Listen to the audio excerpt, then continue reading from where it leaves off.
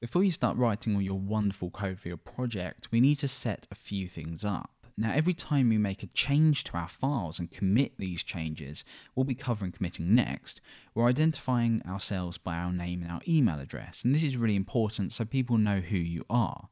Now, let's set up our name and our email. Git comes with a tool called config, which makes this super easy. So all we do is we say git config. We use the global flag to say that we want to set this forever. We don't want to keep uh, entering it every time we use git.